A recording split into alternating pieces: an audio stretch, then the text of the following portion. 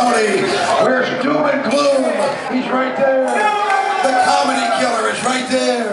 We've got listeners. Thank you so much, man. We uh, we are here for the. This is the first the first big group for Couch All Star Funny Pages, right? First big crowd. Could be my last, too. And really, we wouldn't be here if it wasn't for one person, John, and that is Jill, who booked this Yeah. night put this Jill together. Where is Jill? Where is Jill? Jill! Jill! Jill, if you ever want the perfect wedding or party, this is the place. Remember that, please. The food is all good. The- oh, hi, it's Mark the car guy. Okay. I don't want to leave anybody out. We'll, we'll introduce you.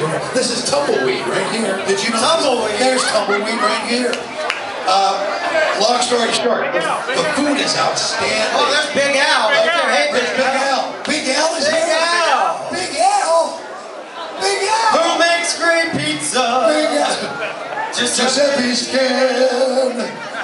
Uh, long story short, try the food. We just got some quesadillas. They're good. The prime rib is on sale. That's good. The pizza's good. John, this is a commercial. The pizza's good.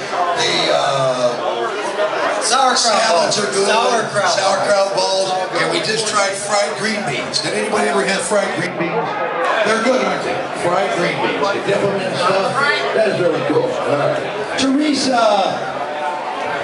Some, I think you people need a few more drafts, all right? You, you're, you're inhibited. You will not be inhibited. you won't be inhibited when you get a load of this band. This band is really good, guys. I trust me on this, okay?